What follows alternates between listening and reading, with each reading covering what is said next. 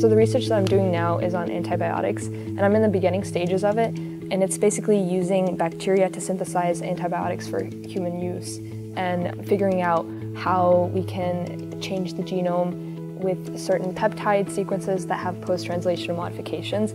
I come here a lot to study. I like how open it is, uh, there's a lot of light, and being in these common spaces on the same level as professors is really cool. So with my research, we are looking at the interactions between mercury and cyanide and the stability between the two complexes.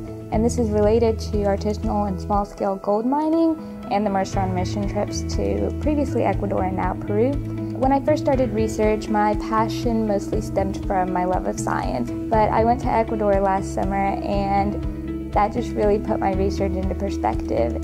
We're part of a team that's looking to produce alternative forms of antibacterials. My job this semester is to produce an antibacterial and then modify it just piece by piece till we have a library of antibiotics. And then uh, we're going to test each compound's potency to see just how effective it is as an antibacterial compound extraordinarily grateful for everything that Mercer has done for me research-wise. Not only did they take me in freshman year on a research project, they also kind of pushed me to start pursuing summer experiences. The summer after freshman year, I was doing brain tumor research in Toronto, Canada. The, the research that I was doing freshman year actually got published.